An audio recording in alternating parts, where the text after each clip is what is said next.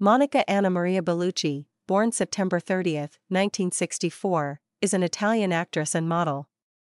She began her career as a fashion model before transitioning to Italian and later American and French films. She has played starring roles, supporting roles, and guest appearances within an eclectic filmography spanning a range of genres and languages. Her accolades include the David di Donatello, Globo d'Oro, and Nastro di Argento awards.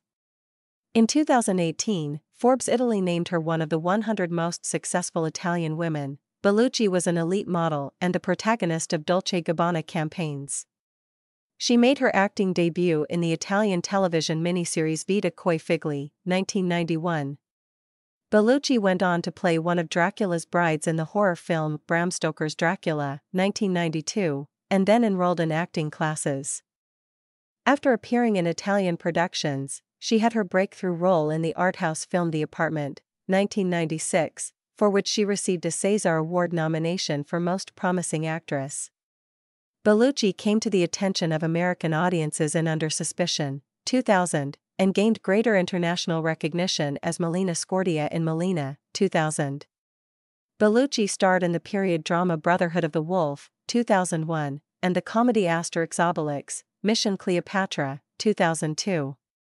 She portrayed a rape victim in the controversial art house thriller Irreversible, 2002, and Persephone in the 2003 science fiction sequels The Matrix Reloaded and The Matrix Revolutions. Bellucci was praised for portraying Mary Magdalene in the drama The Passion of the Christ, 2004. She played a prostitute in How Much Do You Love Me? 2005, and Shoot 'Em Up, 2007, and acted in a diverse array of roles in other films, including in The Whistleblower, 2010, The Ages of Love, 2011, and The Wonders, 2014.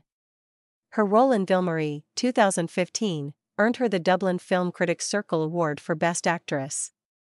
At the age of 50, she appeared in the James Bond film Spectre, 2015, becoming the oldest Bond girl in the history of the franchise. She later played in films such as On the Milky Road, 2016, and The Man Who Sold His Skin, 2020. Her television appearances include the series Mozart in the Jungle, 2016, and Call My Agent, S original French version, 2018. Bellucci made her stage debut in 2019 as Maria Callas in Letters and Memoirs. Bellucci starred alongside her second husband, Vincent Cassel, in on-screen partnerships that spanned 10 years. She has remained involved in modeling and as an ambassador for luxury brands such as Cartier and Dior.